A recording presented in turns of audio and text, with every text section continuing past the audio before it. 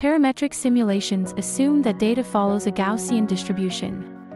To check this, we create a histogram for the parameter we want to simulate. If data structure is not normal, we transform it into Gaussian. For sequential Gaussian simulation we need to determine an accurate ellipsoid. Without right dimensions the interpolation will use too few or too many data points. The size of the ellipsoid we can read from the variograms. The variogram with the longest range determines the major axis. The shortest range is the minor axis. To construct variograms, specify the lag distance, tolerance, direction, and bandwidth. The parameters for transformed data are similar. Only sill will reflect the standardized variance, usually a value of 1. SGS will create multiple scenarios which need to be transformed back to the original domain. With SGeMS transforming the results to the original domain is problematic. The software however includes direct sequential simulation.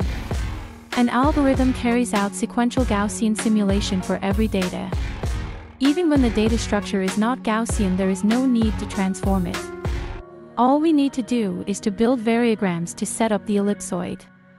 When we know the variogram range we can set up the ellipsoid. The final step is to run the simulation.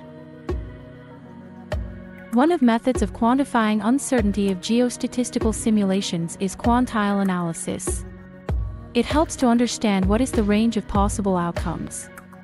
It also gives the likelihood of extreme values. Common quantiles are the 5th, 50th, and 95th percentiles.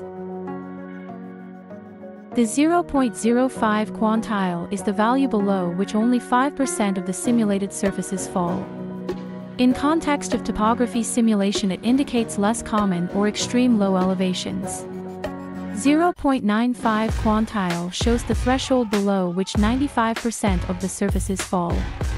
This highlights higher, less frequent elevations. The median divides it into two equal halves and offers a reliable measure of central tendency. It is robust against outliers and provides a typical representation of the topography. Median is reliable for understanding the central tendency. The other two give the range of outcomes. I hope you have enjoyed this video. Let me know if anything seems not clear and don't forget to subscribe. Thank you.